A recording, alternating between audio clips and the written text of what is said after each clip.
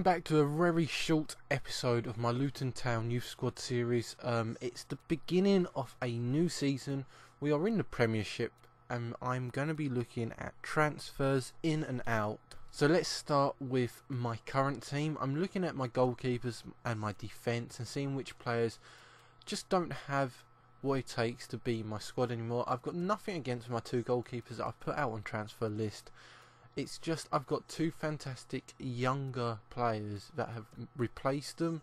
Same thing with a lot of my defenders. I really do like this squad, but I need to take it up the next step to get anywhere near Europe, to get anywhere near the Premiership title, to get anywhere near finishing off this series. So, as you can see, I am looking at my centre backs, my left backs, and my right backs um, just seeing where I need to improve. I don't think I really need to improve too much on my right backs, and I like Tong as my main left back. So we get an offer for Wilson. Now this episode will purely be on offers, uh, again transfers, um, a few players that I'm looking at to sign in. I'm going to look at a lot of uh, free transfers. Um, as you see there, I've got 19 mil to spend, but not much on wages. So I'm hoping to spend a huge amount of that money on one player. Um, a player that I've been trying to sign for a few seasons now is Ibrahimovic's uh, his regen. Um, he's playing at PSG still. The only issue is there are now three regenerated strikers from Sweden playing for PSG, and they all look the same. They all look like they're the same player. So I don't know if my FIFA 15 has glitched out again and there's now three Ibras playing. One's worth about 60 mil, the other one's worth about 10, and the other one's worth half a mil.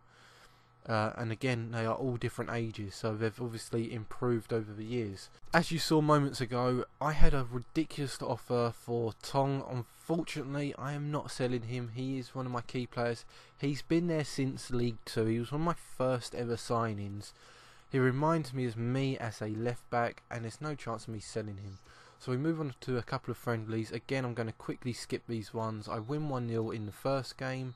Big whoop, they're friendly, nothing matters. It's not like it's FIFA 16 when you actually earn more money for the better you do in friendlies. So again, I'm going to quickly go through this, and as you can see on the right there, I'm literally just going through players I don't want to sell and the players I do want to sell, just so people don't bid for players I don't want to lose out on.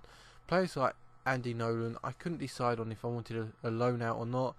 Um, I think I actually decided to loan him out purely for the fact he's young and I've got a lot of players in his position, so he won't play that many games. Uh, moving on to the second friendly game, we end up losing this game 1 0. Um, there you go. These are the players that I'm going to be looking at as free agents. There's five of them that I actually sign. My squad becomes too big, so I can't actually sign the last player it's not too much of an issue because um, I don't think they will last too long in my Luton squad. Again, they were free agents. Um, if I can sell them, if I can sell them in, in January for half a mil each, then I'll be happy. Apart from that, I don't think they'll be starting eleven anytime soon. Um, there you go. That's the guy that I couldn't sign, unfortunately. So we move on to I think this is the third friendly, and I think we lose this game again one 0 no, we win this game 4 1. Correct myself. Um, and there you go. Stoke go crazy trying to sign my backup left back. Um, they ask for uh, just under a half a mil. I asked for just over a mil.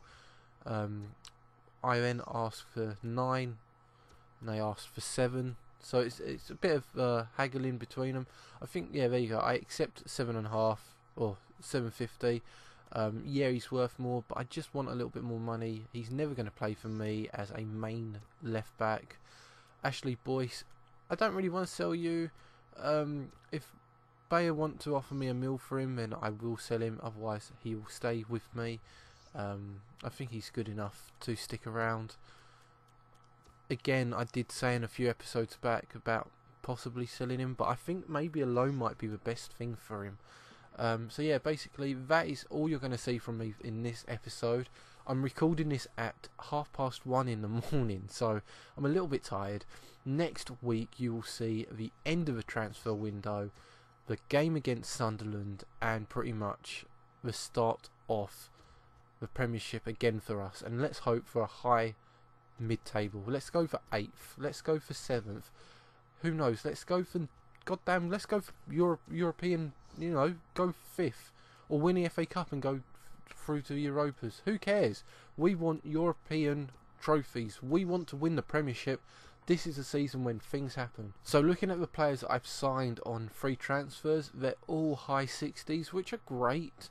But again, I'm looking at mid 70s for this squad, so they probably won't be playing for us. I'll catch you next week, guys. Thanks for watching guys. If you enjoyed this video or any of my other content, hit that like button, leave some feedback, and if you're new, why not sub to me?